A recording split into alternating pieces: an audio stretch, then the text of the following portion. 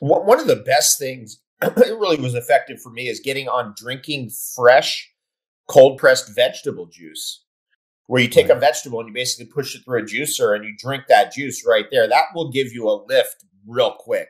And you start going geez i got it something's going on here. Where it's, it's not a calorie thing it's definitely not a protein thing it's not a stimulant thing it's not a sugar thing. There's something coming because suddenly you have you know you drank i don't know four or five sticks of celery a cucumber you threw a lemon in there and an apple and you drink that and you're like, damn, man, I got some, this is something else. And, and that's really what I think got me hooked. It was the fresh right. vegetable juice.